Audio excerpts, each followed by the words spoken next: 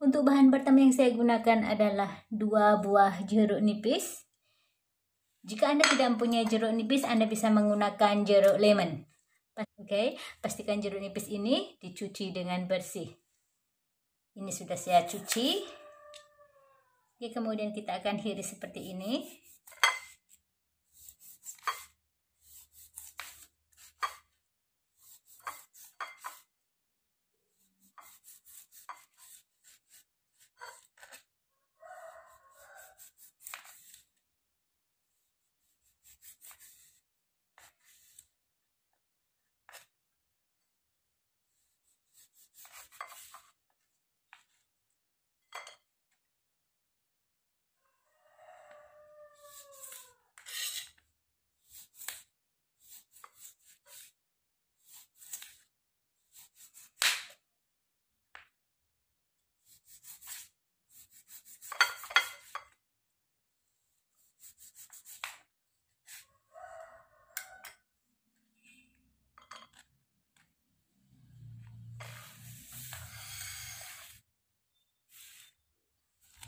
Kemudian bahan yang kedua yang saya gunakan adalah garam. Untuk ini untuk ini saya gunakan garam yang digunakan untuk memasak.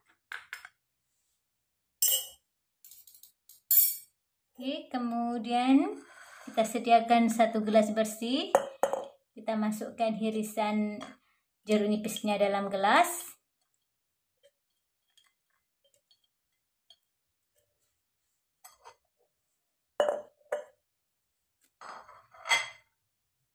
Oke, kemudian tambahkan dengan setengah sendok teh garam.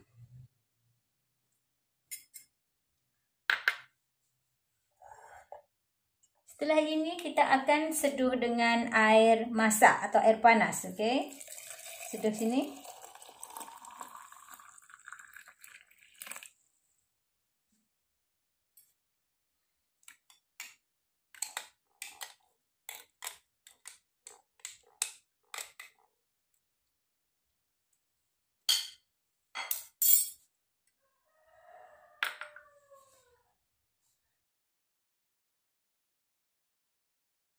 Kemudian biarkan aja jeruk nipis ini terendam dalam air selama 10 sampai 15 menit. Oke, setelah itu kita bisa minum airnya. Jadi ini airnya sudah hangat dan bisa diminum. Anda bisa meminum air ini setiap malam sebelum tidur ataupun setiap pagi sebelum sarapan. Untuk Jadi ini adalah minuman yang kita buat tadi. Minuman ini bermanfaat untuk membersihkan usus dan membuang racun dalam perut.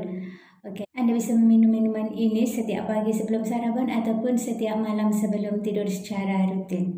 Jadi itu saja untuk tips hari ini. Semoga bermanfaat untuk Anda semuanya. Sampai jumpa lagi di lain video. Bye-bye.